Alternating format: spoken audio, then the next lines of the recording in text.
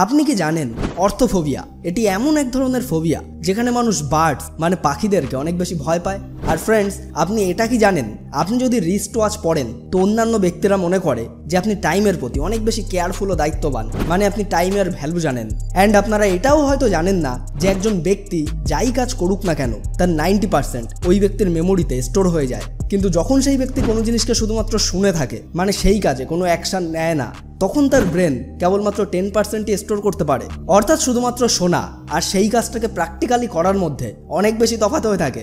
It's really amazing right তো আজ আমি আপনাদের সঙ্গে শেয়ার করছি এমনই দশটি অ্যামেজিং ও মজাদার সাইকোলজিক্যাল ফ্যাক্ট যা জানার পর আপনার জাস্ট একটাই রিয়াকশন হবে। ওয়াও ইটস মাইন্ড ব্লোয়িং তাই ভিডিওটি একদম শেষ পর্যন্ত অবশ্যই দেখুন। তো চলুন, শুরু করা যাক।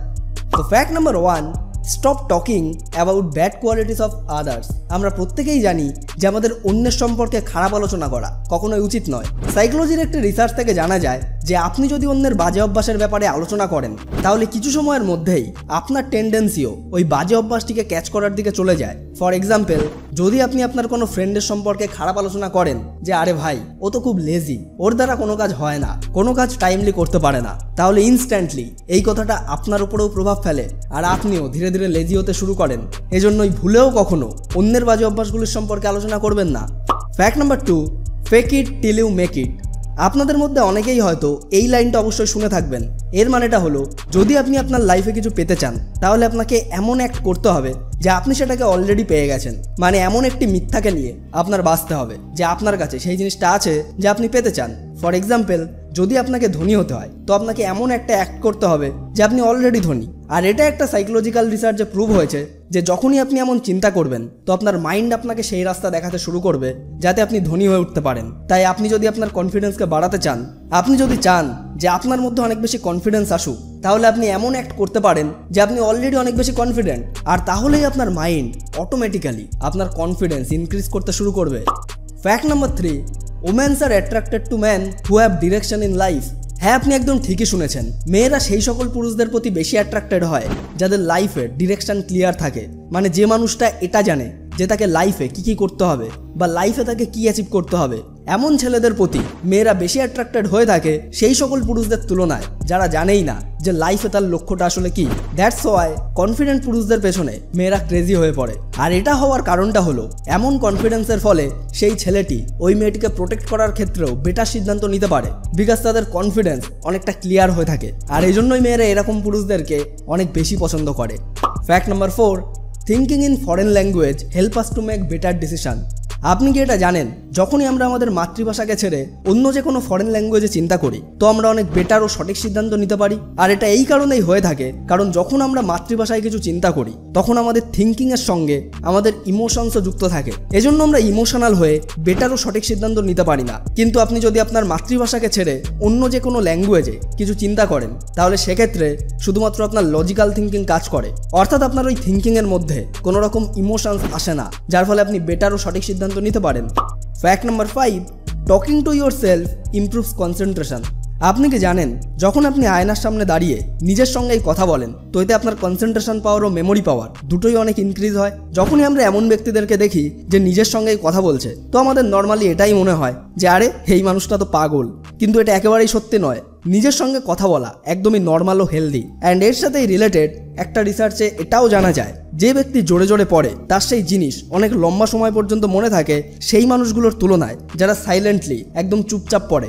এজন্য যখনই আপনি পড়াশোনা করবেন তো এমনভাবে জোরে জোরে পড়ুন। সে আপনি যে টপিকই পড়ুন না কেন অ্যান্ড সেটাকে পরবর্তীতে আয়নার সামনে দাঁড়িয়ে নিজেকে বোঝানোরও চেষ্টা করুন। আর এটা করার ফলে আপনি সেই জিনিসটাকে কখনোই ভুলবেন না। Fact number six strict parents can turn their kids into more effective liars আপনি কি জানেন যে বাচ্চাদের প্যারেন্টস অনেক বেশি স্ট্রিক্ট হয়ে থাকে, তাদের মধ্যে বেশিরভাগ বাচ্চাদের মিথ্যা কথা বলাটা অভ্যাসে পরিণত হয়। বিকজ তাদের প্যারেন্টস এতটা বেশি স্ট্রিক্ট যে সেই শিশুটা তার মনের কথা প্যারেন্টসকে বলার আগেই ভয় পেয়ে যায়, যা তাকে মিথ্যা কথা বলতে বাধ্য করে। আর এরকম করতে করতে তার মিথ্যা কথা বলাটা অভ্যাসে পরিণত হয়, যার কারণে পরবর্তীতে সে তার নর্মাল লাইফেও মিথ্যা কথা বলতে থাকে। এজন্যই আপনার আশেপাশে থাকা সমস্ত প্যারেন্টসদেরকে এই ভিডিওটা অবশ্যই দেখান, যাতে সে বুঝতে পারে যে সে যদি চায় তার শিশুটা তার মনের সমস্ত কথা তাদের সঙ্গে শেয়ার করুক তাহলে তাদের শিশুর সঙ্গে একজন ফ্রেন্ডসের মতো ব্যবহার করা উচিত, শত্রুর মতো নয়। Fact number seven greater expectation lead to better performance and better result এটা তো আমি নিজেও অনেকবার এক্সপিরিয়েন্স করেছি যে যখনই কোনো অন্য মানুষদের আমাদের কাছে অনেক বেশি বড় কোনো এক্সপেকটেশন থাকে, তখন আমরা অনেক বেশি পাওয়ারের সাথে পারফর্ম করতে পারি আর আমাদের রেজাল্টও অসাধারণ হয়ে থাকে। যেমন ধরুন আপনাদের ক্লাসে এমন কোনো স্টুডেন্ট রয়েছে যে পড়াশোনা অনেক ভালো, যার ওপর স্কুলের সমস্ত টিচার্সরা অনেক ভালো পারফরমেন্স এক্সপেক্ট করে। যে এইবার তো এই স্টুডেন্টটা নাইনটি ফাইভ পার্সেন্টের বেশি মার্কস অবশ্যই পাবে। আর সবার এই এক্সপেকটেশনটা সেই স্টুডেন্টও ভালোভাবেই জানে যে তার উপর কত বেশি আশা জড়িয়ে আছে। যার ফলে সেই স্টুডেন্ট অনেক বেশি পরিশ্রম করে থাকে অ্যান্ড তার মার্কসও অনেক বেশি আসে। তাই আপনিও যদি আপনার লাইফে বেটার পারফর্ম করতে চান, তো নিজের কমফোর্ট জোন থেকে বাইরে বেরিয়ে আসুন আর মানুষের মনে নিজের জন্য এক্সপেকটেশন তৈরি করুন অ্যান্ড তারপর দেখুন আপনার ব্রেন কতটা ফাস্ট কাজ করে। Fact number eight people can match up a face to a correct name আমি যদি আপনার সামনে কোনো র্যান্ডম ব্যক্তিকে এনে দাঁড় করিয়ে দিই আর আপনাকে জিজ্ঞাসা করি যে, বলো তো, এর নাম কি? তাহলে আপনি কি তখন তার ফেস দেখে তার নামটা গেস করতে পারবেন? হয়তো আপনি পারবেন না। কিন্তু যদি আমি আপনাকে একটা পেপারের ওপর দশটা নাম লিখে দিই আর বলি এই দশটি নামের মধ্যে ওই ব্যক্তির নামটা রয়েছে, তাহলে কি আপনি তখন সেই ব্যক্তিটির নাম গেস করতে পারবেন? হয়তো আপনি পারবেন।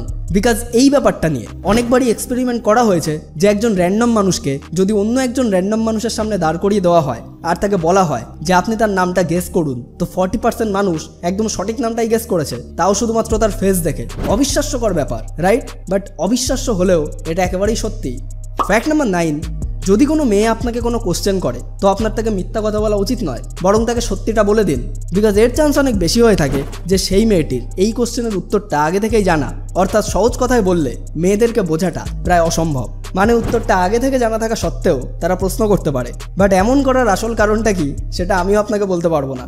হ্যান্ড ফ্যাক্ট নাম্বার টেন যে ধরনের গান আপনি শোনেন আপনার আশেপাশের পরিবেশটাও আপনার কাছে ঠিক সেরকমই হয়ে ওঠে। মানে আপনার চোখে এই পৃথিবীকে দেখার নজর কোথাও না কোথাও ওই গানের সঙ্গে ইনফ্লুয়েসড হয়। যা আপনি শোনেন। মানে আপনি যদি রোম্যান্টিক গান শুনে থাকেন, তো হতে পারে আপনার কাছে প্রত্যেকটা জিনিস রোম্যান্টিক লাগে। আর যদি আপনি স্যাড গান শুনে থাকেন, তো আপনি কোথাও না কোথাও ভেতর থেকে অলওয়েজ স্যাড ফিল করেন। আর যদি আপনি এনার্জেটিক গান শোনেন, তো আপনার চোখে মুখে সেই এনার্জিটা দেখা যেতে পারে। এজন্যই আমাদের অলওয়েজ ভালো এবং এনার্জেটিক গান শোনা উচিত। অথবা সব ধরনের গান মিক্স করেও আপনি শুনতে পারেন। অর্থাৎ কখনো স্যাড সং বা কখনো এনার্জেটিক যার ফলে আপনার মধ্যে সব ধরনের কোয়ালিটিস চলে আসবে। আর আপনার এই পৃথিবীকে দেখার নজর একেবারে বদলে যাবে।